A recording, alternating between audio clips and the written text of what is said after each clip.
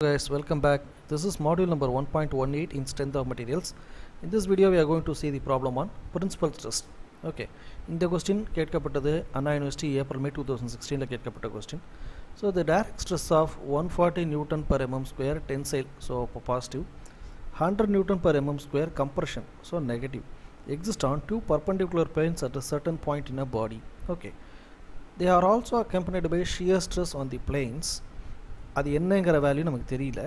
The greatest principal stress at the point due to this is one sixty newton per mm square அதாவது sigma x okay what must be the magnitude of shear stress on the two planes இந்த D என்ன tau என்னங்கிறது தெரியணும்.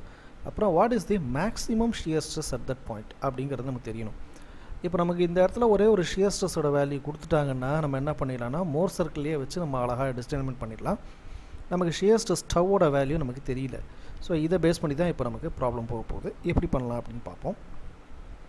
So as per given data sigma one sigma டூவோட value இருக்குது மைனஸில் ஏன் கொடுத்துருக்கோன்னா this hundred newton per MM ஸ்கொயருங்கிறது கம்ப்ரெஷனில் இருக்குங்கிறதுனால அதே மாதிரி சிக்மா எக்ஸோட value one sixty newton per mm square to find tau and tau max so first of all sigma எக்ஸோட ஃபார்முலா என்ன? Sigma one plus sigma two divide by two plus R மைனஸ்னு ஒரு வார்த்தை வரும். அந்த மைனஸ்னு வந்தால் சிக்மா ஒய் நமக்கு sigma x கொடுத்ததுனால அந்த ப்ளஸ் ஆர் மைனஸ் விட்டுட்டு வெறும் ப்ளஸ்ஸை மட்டும் எடுக்கிறோம். Square root of sigma one minus two sigma two divide by two whole square plus tau square இதில் நமக்கு எல்லாத்துக்கும் வேல்யூ இருக்குது டவ்வோட வேல்யூ மட்டும் இல்லை.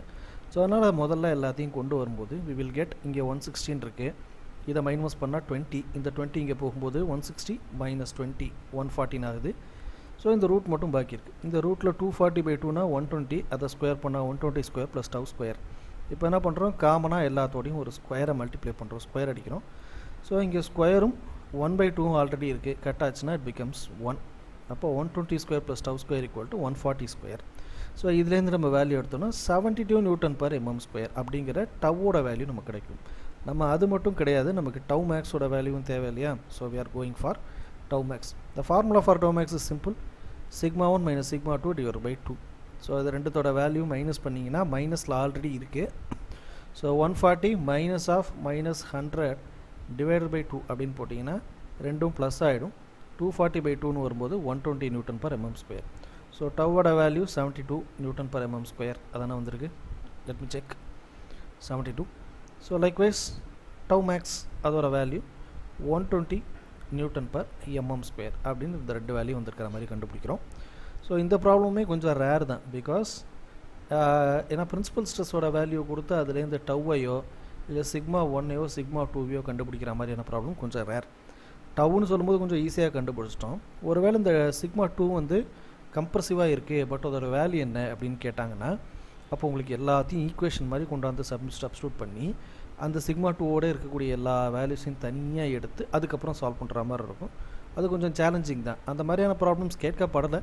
அப்படி எதுவும் இருந்துச்சுனாலும் நான் என்ன பண்ணுறேன் அப்கமிங் வீடியோஸில் அதை நான் சால்வ் பண்ணி காட்டுறேன். ஓகேங்களா ஸோ ஸ்னிதா மெட்டல்ஸை பொறுத்த மட்டும் இந்த யூனிட்டில் தான் உங்களுக்கு ஃபார்முலா அதிகம் நான் ஏற்கனவே சொன்ன மாதிரி unit one comprises of more formulas அது எல்லாத்தையும் கொஞ்சம் கரெக்டாக கீனாக நோட் பண்ணிங்க. என்னென்ன மாடல்ஸ்லாம் சால்வ் பண்ணுறோமோ அந்த எல்லா மாடல்ஸையும் கரெக்டாக நோட் பண்ணுங்கள் ஏன்னா யூனிவர்சிட்டியில் எந்த ஆர்டரில் இது வரைக்கும் கேட்டிருக்காங்களோ அதை மட்டும்தான் நம்ம தனியாக எடுத்து எக்ஸ்க்ளூசிவாக சால்வ் பண்ணிகிட்ருக்கோம் அதை நீங்கள் ஃபாலோ பண்ணிட்டீங்கனாலே உங்களால் ஃபஸ்ட் யூனிட்டை ரொம்ப ஈஸியாக அட்டன் பண்ண முடியும். சரிங்களா?